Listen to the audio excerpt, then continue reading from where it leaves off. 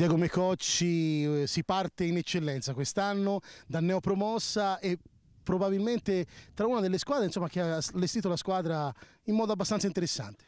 Sicuramente la squadra sono stati comprati molti giocatori nuovi, molti giocatori da categoria e di categoria che uniti un po' all'ossatura, allo zoccolo duro dell'anno scorso, visto che abbiamo fatto molto bene in promozione, cercheremo di levarsi il più possibile un po' di soddisfazioni. Via.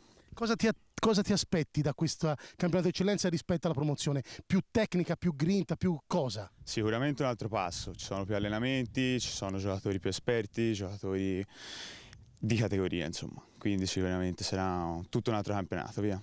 Un campionato di eccellenza che vede quattro derby, come ho chiesto al capitano, chiedo anche a te, qual è quello che, ti, che aspetti con più ansia?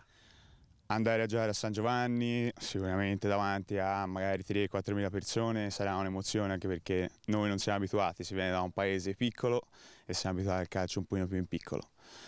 Cercheremo di fare il nostro meglio ovunque. Anche se avete un seguito abbastanza importante, insomma avete tanti affezionati che vi seguono in casa, ma penso che a San Giovanni verranno ben volentieri. Sì, certamente, quello è ovvio. Cosa ti aspetti da questa stagione? Una stagione a fari spenti ma fa per fare bene? Cercheremo di fare il meglio possibile mm, salvarsi il prima possibile, poi se verrà qualcosa di più si va meglio. In bocca al lupo per la stagione. Grazie mille anche a voi.